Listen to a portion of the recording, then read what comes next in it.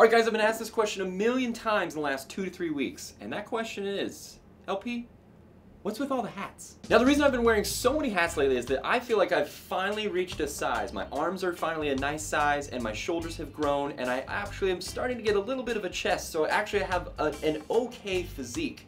And I feel like I can now wear a hat.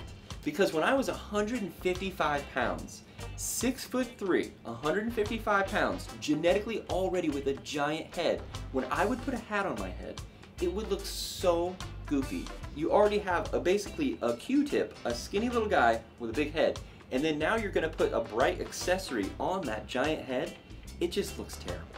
And I know it sounds really weird, guys, but it's absolutely true. I felt completely goofy wearing a hat. Every time I put on a throwback or any kind of snapback or anything like that, anytime I'd wear it backwards, I felt like I looked like a stick figure wearing a hat. It just looked so stupid to me.